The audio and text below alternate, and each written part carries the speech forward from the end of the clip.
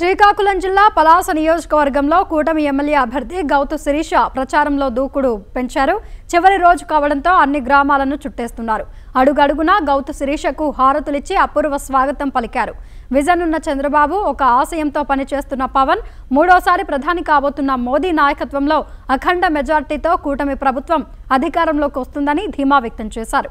రాష్ట్ర ప్రజలు వైసీపీ ఐదేళ్ళ పాలనలో ప్రజలు కోల్పోయిన అభివృద్ధి సంక్షేమాన్ని తిరిగి అందిస్తామని చెప్పారు.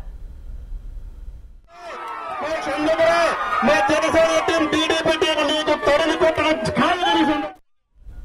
పలాసలో తన గెలుపు ఖాయమని ఏపీలో ప్రజాప్రభుత్వం రావడం పక్కా అంటున్న గౌత శిరీషాతో మా ప్రతినిధి చిన్నారావు ఫేస్ టు ఫేస్ ఒక్కరోజు మాత్రమే ఎన్నికల ప్రచారానికి గడువున్న నేపథ్యంలో శ్రీకాకుళం జిల్లాలో ఎన్డీఏ కూటమి అభ్యర్థులైతే ముందుకు దూసుకు వెళ్తున్న పరిస్థితి అయితే కనిపిస్తుంది. ప్రజల యొక్క సమస్యలను తెలుసుకున్నారు. అయితే మనతో పాటు ఆవిడ మనతో పాటు ఉన్నారు. అడిగి తెలుసుకునే ప్రయత్నం చేద్దాం.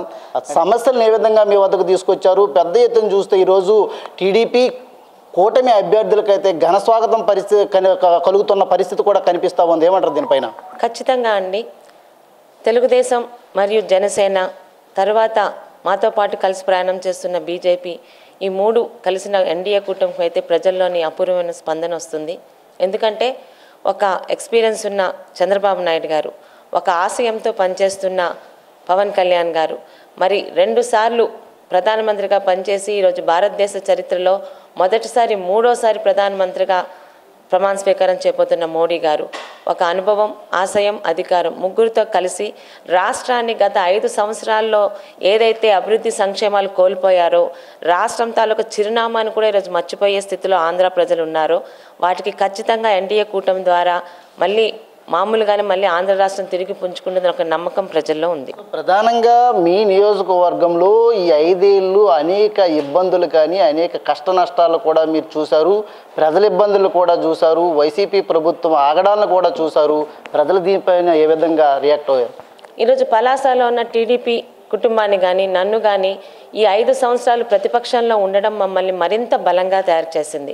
ఈరోజు ముఖ్యంగా అప్పల్ రాజు గారు రాజకీయాల్ని పక్కన పెట్టి ఒక అరాచకమైన రీతిలో ఈరోజు మా మీద చేసిన దాడులు కానీ పలాసలోని రెండు వేల పంతొమ్మిదిలో పార్టీ ఓడిపోయాక ఒక్క కార్యకర్త కానీ ఒక్క నాయకుడు కానీ పార్టీని వదలలేదు. రోజు రోజుకి బలంగా తయారయ్యారు అన్నీ తట్టుకున్నారు సహించారు భరించారు. ఈరోజు పూర్తి బలంతో ఎదురు తిరగడానికి మళ్ళీ అప్పలరాజుని పలాసలో కానీ రాష్ట్రంలోని వైసీపీని కానీ కిందకి దించడానికి ఎన్డీఏ కూటమి రెడీగా ఉంది. ప్రధానంగా ఈరోజు చూసుకుంటే టీడీపీ బీజేపీ జనసేన కూటమి అభ్యర్థిగా మీరు ఈ నియోజకవర్గం నుంచి భారీ మెజారిటీతో గెలుపొందుతారనే ఒక పెద్ద టాక్ అయితే వినిపిస్తుంది. ఓవైపు ఎంపీ రామ్మోహన్ నాయుడు కూడా ఏడు నియోజకవర్గాల నుంచి కూడా భారీ మెజార్టీని తీసుకొస్తా ఉన్నారని చెప్తా ఉన్నారు. ఈరోజు ఎంపీ రామ్మోహన్ నాయుడు గారి సెగ్మెంట్లో ఉన్న ఏడు నియోజకవర్గాలు ఖచ్చితంగా ఎన్డీఏ కూటమి గెలుచుకోబోతుంది.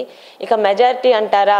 ఈరోజు వైసీపీ ప్రభుత్వం మీద వైసీపీ పార్టీ మీద ప్రజలకు ఎంత అసహ్యం ఉందో వాళ్ళు ఎంత అసహించుకుంటున్నారో అది మెజారిటీ రూపంలో బయటపడుతుంది. ఇది ప్రధానంగా చూసుకుంటే ఈ పాలాస నియోజకవర్గంలో కూటమి అభ్యర్థిగా అయితే ఇటు గౌతి శిరీష గారు అయితే భారీ మెజారిటీతో గెలుపొందుతాము. అటు ఎంపీ రామ్మోహన్ నాయుడు కూడా గెలుపొంది. చంద్రబాబు నాయుడు నాయుడుకి గిఫ్ట్గా ఇస్తాము. వచ్చేది కూటమి అటు అయ్యేది చంద్రబాబు నాయుడు రాష్ట్రానికి ముఖ్యమంత్రి అయినప్పుడే ఈ రాష్ట్రం అయితే బాగోగాలు బాగుంటాయని అయితే చెప్తా ఉన్నారు. ఇది ఇక్కడ తాజా పరిస్థితి.